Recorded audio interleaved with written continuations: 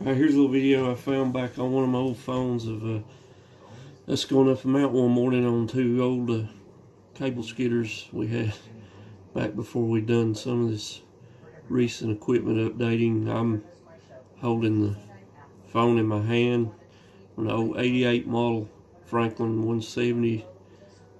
Uh, 170s changed a lot over the years. They were small back then relative to now but they had six BTA Cummins in them.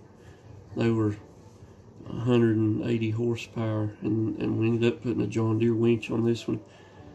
And in its day, you know, 30 years ago, it was bad to the bone. I remember a guy that logged 518 cats coming on our job and seeing the trips that thing was pulling out from under the mountain. He said, I don't see how in the world a machine can stand that.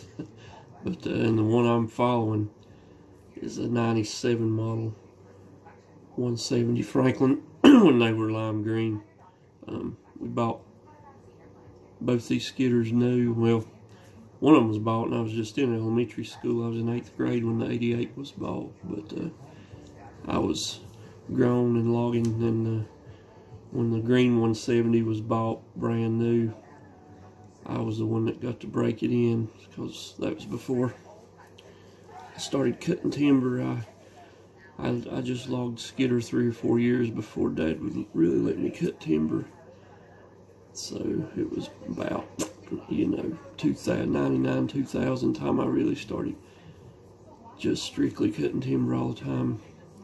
But, uh, man, back in them days, you talk about Cadillac, that thing had heat in it, and the electronic winch controls and it weighed about 10,000 pounds, probably more than the 88 model I had been running for several years and I was shitting in high cotton so to speak there for a while but them things are about ready for the junkyard now. That 88 is in the junkyard.